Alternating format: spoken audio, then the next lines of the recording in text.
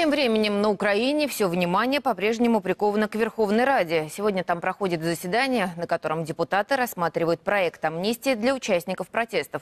Власти настаивают на том, что она вступит в силу только после освобождения всех захваченных зданий.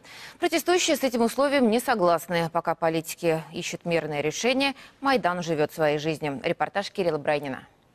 Здесь от одного переворота до другого рукой подать. Революционные солдаты и матросы с барельефа на фасаде украинского дома как будто смотрят на современных захватчиков. На входе люди в масках проверят пропуск, Добре, приходьте, приходьте, добре, я доверяю вам. а внутри рядом с медицинским пунктом можно записаться в так называемый отряд самообороны или получить талон на горячий душ. Проект называется «Чистая справа». Мы Проект называется «Чистое дело».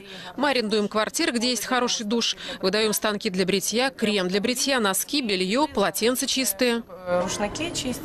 Есть даже библиотека Майдана, но посмотришь на каску на книжной полке и без названия все ясно. Вот она проза украинской жизни. В бывшем баре в несколько рук намазывают бутерброды, а на полу уже спят в повалку. Относительное затишье на улицах радикалы используют для тренировок новых бойцов. Но и строители баррикад тоже не отдыхают. Почти 10-метровая сторожевая башня – очередной плод военно-инженерной мысли Майдана. Катапульту в действии все уже видели. Для полноты картины не хватает разве что троянского коня. Пока политики ищут мирное решение, улица укрепляет баррикады. Когда не с кем воевать, воюют друг с другом. Активисты националистической партии «Свобода» пришли освобождать здание Министерства аграрной политики от своих же ультраправых товарищей из движения «Общее дело». Смени власть, а не ложись под нее. Ну каким образом? Смени власть. Я спрашиваю, я не хочу. В ход даже пошли травматические пистолеты. Радикальный протест слегка раскололся и во Львове. Поругались захватчики здания областной администрации. Одни уже хотели отправиться по домам, другие их не отпускали. А в Херсоне минувшим вечером экстремисты напали на сотрудников милиции. Трое в больнице с ножевыми ранениями. На территории Днепровского района города Херсона отрабатывали территорию по грабежам.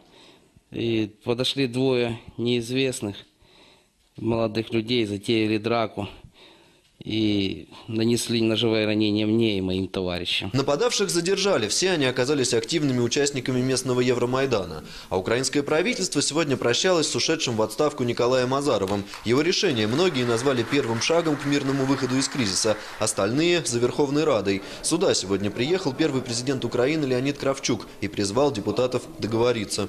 Давайте довіряти один одному.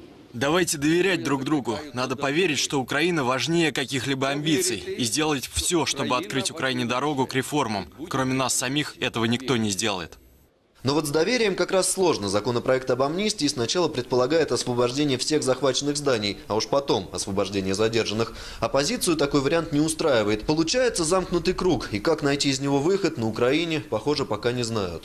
Кирилл Бранин, Евгений Лямин, Олег Слюсаренко, Алексей Зуев и Виктория Филатова. Первый канал, Киев.